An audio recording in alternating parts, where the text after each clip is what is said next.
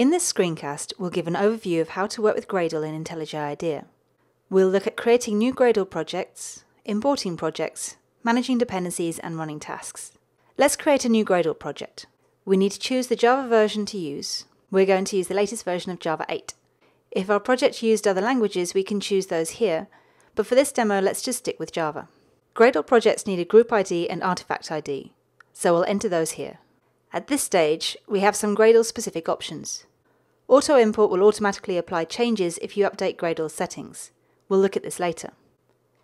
The second setting is really useful for new projects as it sets up the directory structure for your project, so we'll tick this.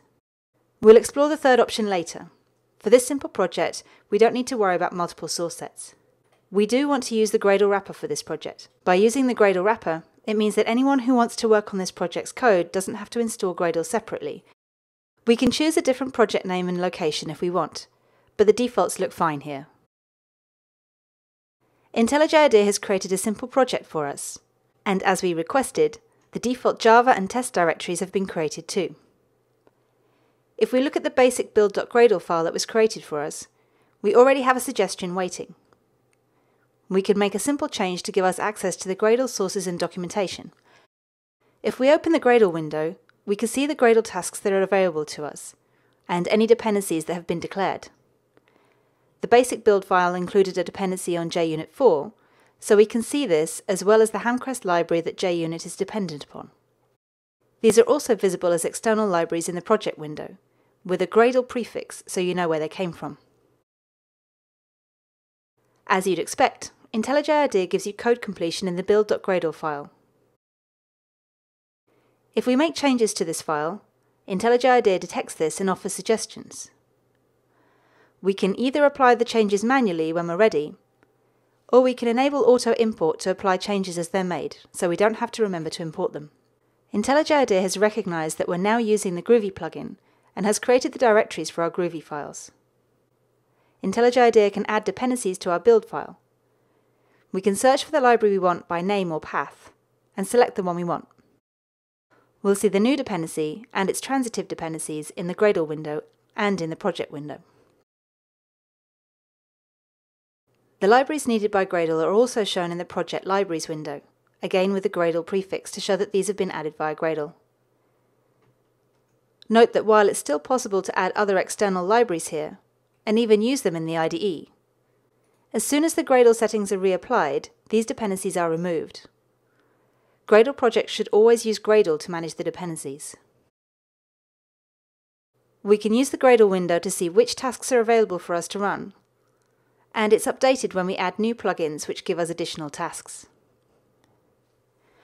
Running a task from here shows the output in the Run window, either as a summary of stages with time taken for each step, or as the familiar command line Gradle output. We've looked at the basics of creating and working with a Gradle project. It's more likely we'll be working with an existing application that uses Gradle.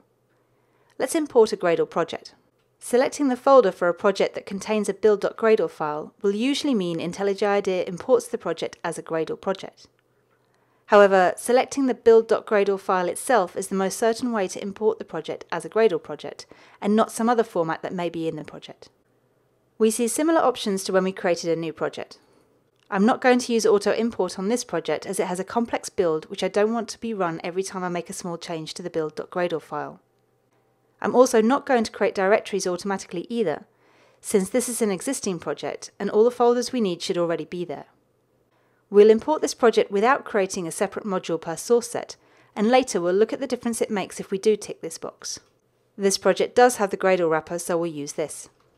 IntelliJ IDEA runs Gradle on the project when it's first imported to initialize it and bring in the dependencies.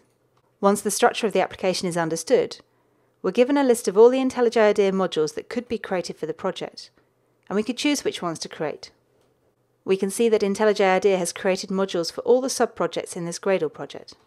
It also correctly recognizes the source and test directories as defined in the Gradle build, even though this project doesn't follow the usual standard.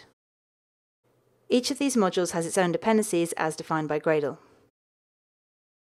Now let's see what a difference it makes to import this project with slightly different settings. Specifically, let's select Create Separate Module per Source Set so we understand what this means. Because we've previously imported this project, we already have settings defined for IntelliJ IDEA, but what we want to do is override these with our updated settings. This time, IntelliJ IDEA not only suggests modules for each subproject, but also submodules for all the source sets in each module. This project has separate source sets for different types of tests, so these can all be set up as independent IntelliJ IDEA modules. We'll see why we might want this in a minute. Now each of these test folders is a module, not just a folder inside a larger module. This means that each of these modules has its own dependencies and doesn't simply share all the dependencies from the subproject. This may more accurately represent the Gradle build, so compiling and running inside the IDE gives the same result as compiling and running from Gradle. The Gradle window shows each of the subprojects that make up the application, including the different source sets with their own dependencies, and of course the tasks available. As we saw earlier, tasks like the test task can be run from here.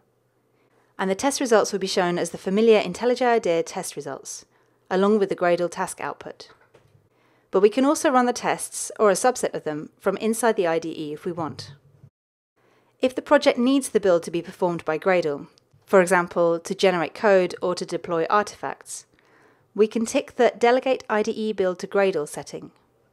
If we choose this, even when we run the test through the IDE, IntelliJ IDEA will use Gradle to build the project before running the tests.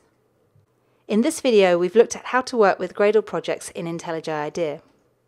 Take a look at the documentation for more details, or check out the YouTube channel for more videos. Thanks for watching.